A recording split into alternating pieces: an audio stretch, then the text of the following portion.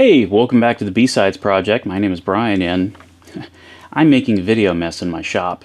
If you look at the first episode, I talked about how I'm building a new streaming rig for B-Sides Portland. This is a nonprofit that focuses on building security skills in the community, mostly through conferences and gatherings, which is why we have decided to upgrade our video streaming capabilities uh, from previous years. And instead of relying on equipment from volunteers, try to buy rigs that are consistent, easy to use, and can be uh, easily taught to a new set of volunteers as we try to scale the conference back out. So last time I gave you an overview of the requirements we have for the conference and the video rig I'm using based on an ATEM Mini Pro switcher and some Panasonic camcorders. All right, so the conference has given me a $3,000 budget to build out the new streaming rig. Now that is, you know, soup to nuts. That's new cameras, cables, the switcher, display, cases, pretty much everything but the laptop that runs the control software. And that sounds like a lot of money. And, you know, for a nonprofit, it is. And for a home streamer, it's definitely quite a bit of money. Tons of people are doing Twitch streaming. You would think there's a cheaper way to get into it, and there is. And it's basically just going to be based on what I'm doing with this laptop right here. And I'm going to set up the, the quickest OBS-based streaming setup that I think you can put together for a basic conference video output. It revolves mostly around the laptop, uh, a presenter's laptop, one of my cameras, I'm just going to do a single camera setup today, and some kind of way to get those camera signals into the laptop. Now, your first thought is USB. Yeah, because you've got like a USB webcam sitting around, and you could do that if you were 6 to 12 feet from the stage, which in most conference setups, you're not. Uh, USB doesn't do long ranges very well. HDMI is a better solution for that, but we talked about this last time. 50 feet's the spec limit, 25 feet is kind of practical. But a lot of the higher quality cameras you're going to run into have HDMI output. So we're going to end up using something like this.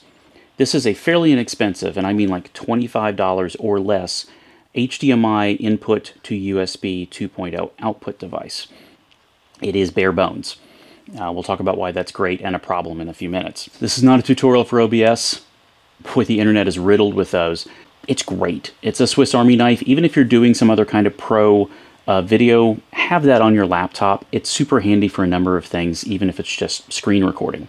Let's assume I just installed OBS from scratch. I have one scene. It's called Scene. So let me give it a better name. Let's call this Picture in Picture. Scenes are created from multiple sources. Sources are audio, video, images, files, network sources, do all kinds of crazy stuff in OBS. All right, so I've got two audio sources that come in right now. One is the microphone off of my computer. Easy enough. I'm going to assume that that is carrying the audio source from the main system, like the, the audio board in the room. It does have an eighth inch jack on this. Some platforms don't anymore. That's sad. There's no video right now. So I'm going to create a picture-in-picture scene, and my first source is going to be a background image. So look at all these sources.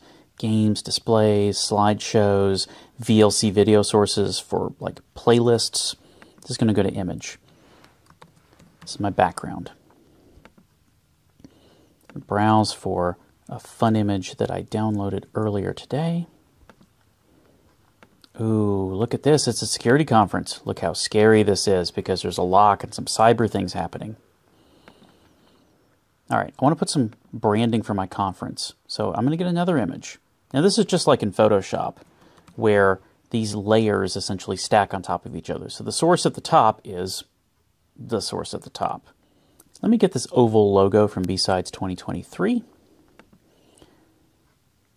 All right, and I'm just going to drag it into, where do we want our branding today? Let's put our branding here, down in the corner. Nice. Now I've got a presenter on stage with a camera pointed at them, and I've got their laptop on stage with the HDMI output coming out with their slides. So I'm going to add the camera first. In OBS terminology, that's called a video capture device. So, camera. Now, by default, it usually wants to use the uh, webcam on your laptop. I have the cover closed, but hey, that's what I look like when the cover's open. Let's not do that. Instead, I'm going to scroll down, and my USB video device that I plugged in is called USB Video. Not very inspiring. Okay, hey, there's my presenter. He's talking about the safety protocols of using a trebuchet in the desert. He is not a trained professional. Do not try this at home. The one thing I do want to turn on in the settings is use hardware decoding when available, especially if my laptop has some kind of, uh, like Intel QSV is built in for video decoding. If you've got a GPU built into your laptop, turn this on. It'll give you a little bit less of a CPU load processing multiple video sources. So this not only adds the presenter's video, but any audio associated with that source. So now I've got audio coming from the main microphone slash aux jack and the camera. I'm going to mute the camera. That way I don't have an echoey thing with two audio sources. So I've added the camera, but it's taking up the full screen. So I want to resize this, and let's move it uh, somewhere over here, over the logo. Okay, so now this is starting to look like that view I was telling you about that a lot of other conferences have. Um, that picture-in-picture style thing where you've got the branding, a cool background, the presenter, and their presentation. Oh yeah, the presentation. I got to add another video device. Let me plug that in. So I got to plug another one of these HDMI capture devices into my laptop to get the presenter's uh, output. And here's where the fun begins. Um, these are USB 2 devices. Um, you have a limited number of the USB-A, the larger ports, on modern systems. I don't recommend running multiples of these on the same USB hub. Uh, since they're USB 2 devices, even though they're on a USB 3 port through a USB 3 hub, there's some potential bandwidth issues uh, and I don't want you to lose uh, video quality or drop frames. There is a full-size USB port on this laptop over here, one over here, but if I try to plug it into here, I've got an HDMI output. The port's blocked. This is common because these are kind of, they're chunky. So make use of USB short extension cables whenever possible. This is going into a free USB-C port on the side. All right, I plugged in that second HDMI source into the USB port. I'm going to go and get that video capture device, and that's called Presenter Laptop. All right. Unfortunately, these are the same budget device. They don't have a specialty driver or anything, so they're both called USB video, but that's okay. You get this cool preview of the slides. Again, I want to check and make sure that my hardware decoding's turned on. And there we are. Now, just like before, it takes up the full screen, and just like before, it adds another audio source. I want to leave that one unmuted. The reason that I'm leaving this audio unmuted is because the presenter might have embedded video or some sound effects or something, so I want to make sure that comes through into the final mix. But I still need to resize this full-size element. So I'm going to drag it, and now let's make our presenter a little bit smaller. So make the slides in the picture-in-picture view a little bit bigger. Okay, this is pretty good, right? It's only been a couple of minutes and I've set up this complete view. I've got the slides, the presenter, the logo, and some background all clearly presented in one scene. Now, I don't like the fact that I shrank my presenter down so much. So let's assume our presenter is going to stay in place. They're not going to move away from the podium. So what I can do is go to this thing called transform. And just like in, say, a photo editing software of some kind, when I move this around, it's got position properties. But what I really care about in this case is the crop. So I'm going to take a little bit off the left and right side of the presenter's video. So I'm just going to crop off those edges. Now, I can enlarge this. Here, I'm going to close the transform window. I can enlarge this. So now, even though they're picture-in-picture, I cut out the bits of the room they're not using. Center that so it doesn't upset some OCD of the people watching. This is good. It's up and running. It's boring because this is my view. Now, if I want to set it and forget it, it's a great view. But let's say I want to do something that looks a little bit more like the fancy switcher I was showing you earlier. Now I'm going to create, ooh, multiple scenes. This scene is called presenter only. Gee, Brian, what's going to be in here? Well, it's going to be a video capture device, and I don't have to make a new one. I'm going to add existing for my camera. Hey, it's just the presenter. Look at that. So that's the full screen. So if I want to switch away from the picture-in-picture, -picture, presenter is emoting a lot, not really referring to stuff on their slides. Maybe they're in the Q&A portion and they're taking questions from the audience. Cut to this. Now, if I really wanted to keep my conference branding on screen, what I could do is add an image. I'm going to add my logo. And maybe I'll put that, now I can put that in a different corner, say in the upper left, just for variety. Two scenes. Awesome. Now I also want to add one called slides only, or eh, say laptop only, in case they bring something that isn't PowerPoint, thank goodness. Same thing that I've done, right? I'm going to get my laptop only video capture device, pull from my existing presenter laptop source. Let's say I don't want to put the, the logo on top of this one, right? Maybe the conference presentation uh, is branded already, so I don't have to worry about that. Now I've got three scenes, and when I select them, they go to the output. Here, I'll start recording so you can see what this looks like. This is my main view. This is my presenter only. And this is my laptop only.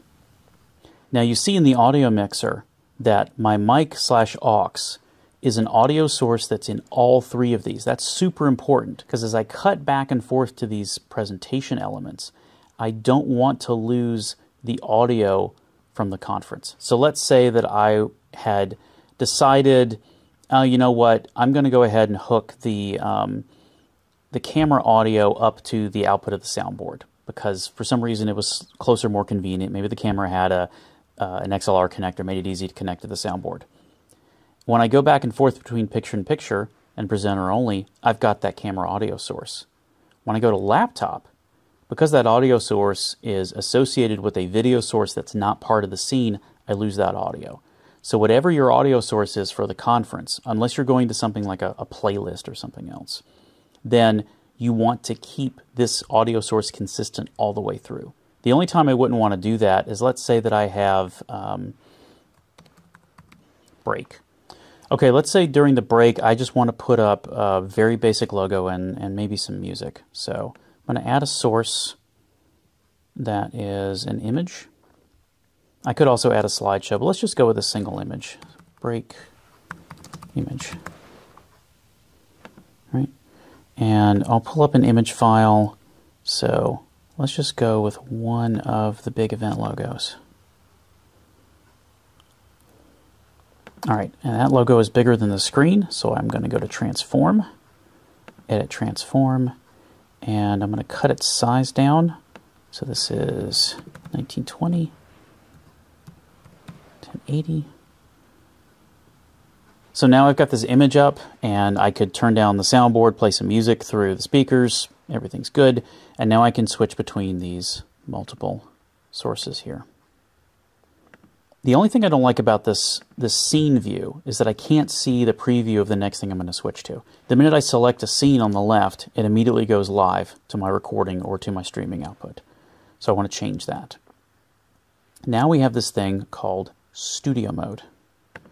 Studio mode is the closest approximation in OBS to what I am doing with the multi-camera, multi-input preview on the Blackmagic switcher.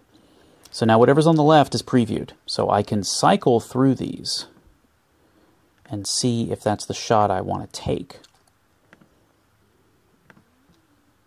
But it doesn't actually switch until I hit the transition button and it takes the default transition, which is set in the scene transitions here.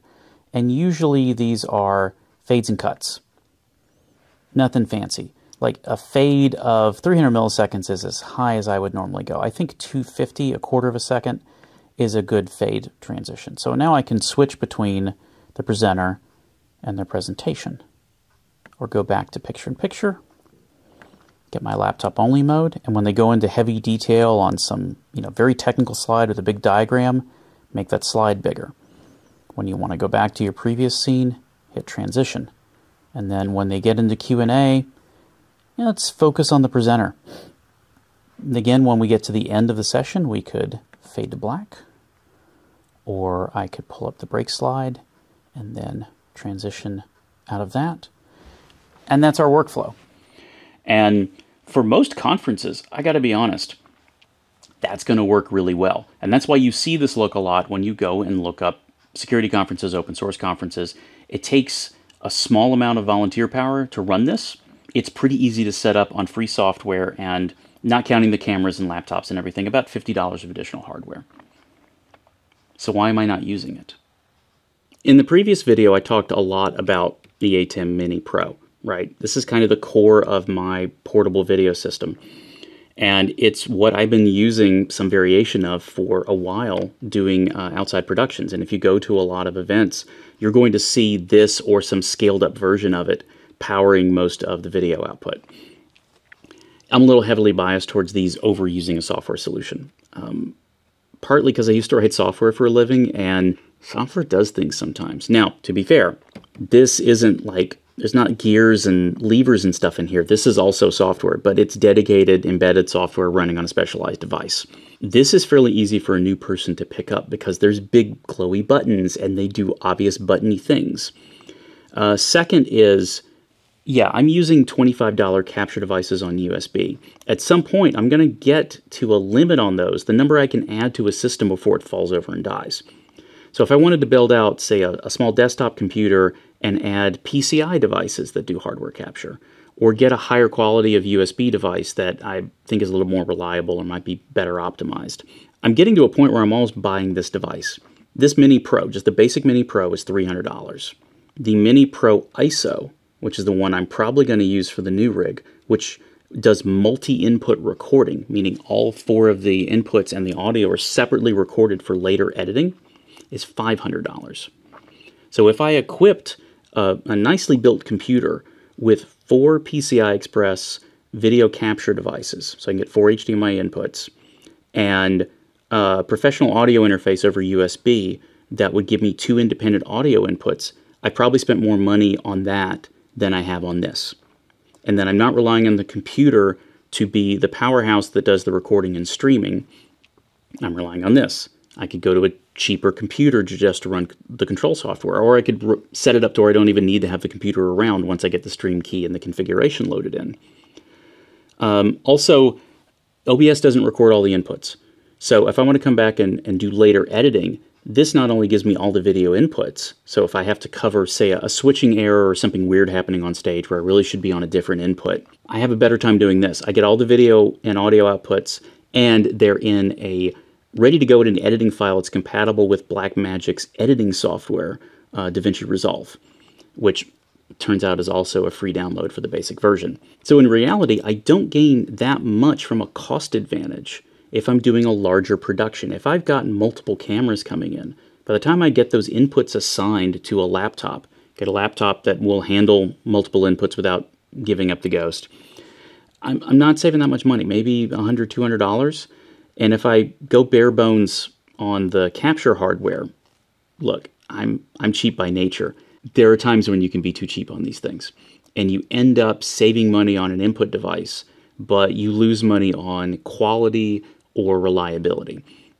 So you have to make that trade-off. All the same problems that exist with the setup are going to be there for OBS or for this. I still have to get the video sources to the device right? So I still have the same HDMI range extension issue.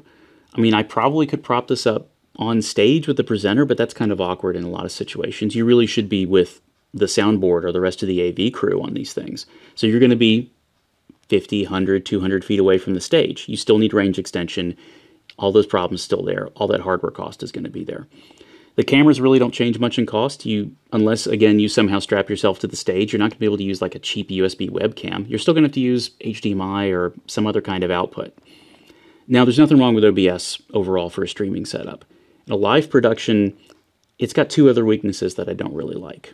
All right, one of the things I don't get in OBS is a full preview of all of my input sources.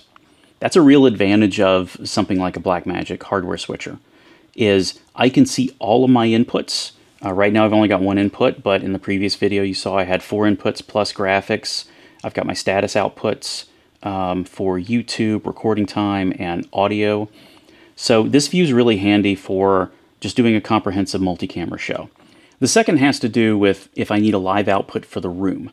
Now the way we're doing the video production at B-Sides, we don't have any specialized output for the room from the switcher. We are counting on the people in the room seeing the presenter live in the room and the stuff on screen. And then anybody who's not in the room gets to see the streaming output. So they get the full production with the input switches and the zoom in on the presenter or you know a panel discussion with the zoom in on those panelists, right? They get all of that goodness from the YouTube output, the Twitch output. If I wanted to go to a slightly more complicated setup where I want to send uh, an output of whatever I'm sending to the stream into the room itself, I want that to be instantaneous. I don't want any latency from that. There's not a great way to do that in OBS because if you say, okay, I'll just run the stream output into the room, well, now what you're doing is you're taking the output from YouTube or Twitch and putting that back into the room, and there's a huge round trip latency. That could be anywhere from 30 to 90 seconds. That's the delay you get through network transmission time and caching between when something leaves that laptop on network connection and goes out into the world and then is able to be picked up by your streaming client.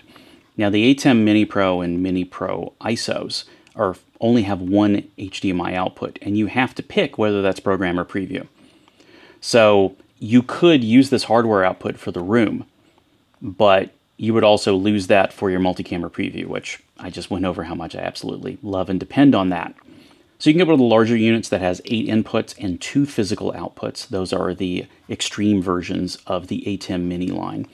And in those cases, one of your outputs is going to be preview, and it's going to give you your multi-camera preview for the producer, and then one's going to be program, and that's going to give you what the audience wants to see. Now that might be going to a secondary set of screens that could be going to an accessibility monitor in the front row. Now in our production, we don't need that dedicated hardware output, but it's available. And it's something that, as good as OBS is, it's not really built to do that. It's meant to do the send to the internet thing for an audience that's not in the room with you. So if you need that kind of capability, that's why I like hardware switchers. All right, so that's the quick and dirty way to do this in OBS with some fairly inexpensive hardware. Again, all I really did was download free software and get 50 bucks worth of HDMI to USB inputs to create a multi-input uh, overlay, picture-in-picture with a presenter, and getting audio input from either the laptop or the camera, and even embedded video in the presentation. But it has its limitations. Um, I think that the hardware-based switchers are easy to use, I love having that program preview output. I don't like putting everything on the laptop, which in some productions you own and in some productions is the spare laptop you had lying around the house and might crash or die at any moment. OBS is great. I think it's a very versatile tool. It can do some things that hardware switchers can't as far as taking virtual inputs. But for the rest of the project, we're going to focus on building out the hardware infrastructure. Again, my cost savings between an OBS-based system and an ATEM Mini Pro system is really only a couple hundred dollars. And if the couple hundred bucks is that important to you, yeah, OBS is great.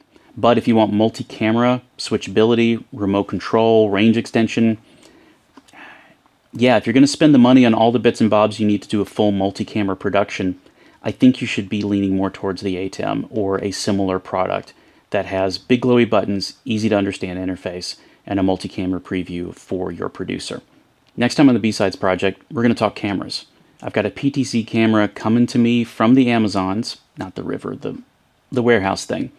We're going to try it out, see if it meets my needs, see if their AI intelligent auto tracking is all it's cracked up to be, for I'm just going to wander off camera and never to be seen again. After that, we're going to talk about range extension and how we remotely control those wonderful PTZ cameras so that my lazy butt doesn't have to get up and move the camera around during a production. Just want to sit there, drink my coffee, push the glowy buttons. If you want more information on B-Sides, go back and watch this starter video or visit bsidespdx.org. Find out more about this great organization. Yeah, stay tuned. See what else I come up with in the shop that doesn't generate any sawdust. These projects are so much cleaner than woodworking. So much cleaner.